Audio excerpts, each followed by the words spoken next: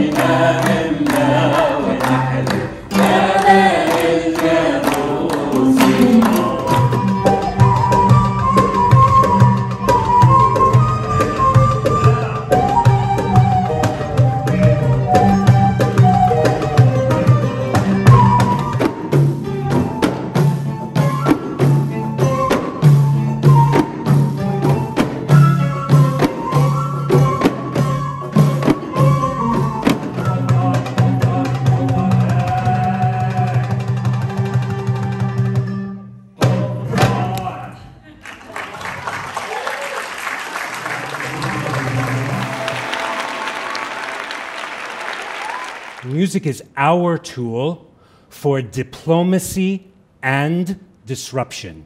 Diplomacy and disruption. This is a participation with our culture. And so they are becoming familiar with us and they are feeling our music and our movement. They can identify with the performer. This creates the potential for future advocates and allies. My very first Arabica assembly was just two weeks after 9 11. A teacher I knew had a young Arab fourth grader in her elementary school who was being harassed by her classmates. Obviously, those children were reflecting the fear and anger of the adults in their lives. So that teacher asked me to come and give a presentation to the school children, introducing my culture, in order to make them more familiar with and less afraid of the Arab and Muslim world. Uh, Mr. Nagi is going to take over. And since that day in 2001, Give a warm applause. I have performed over 400 Arabica school assemblies.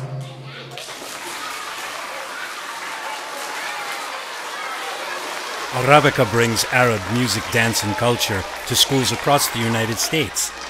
Thank you, everyone. And now, if I want to say thank you in Arabic, I say shukran.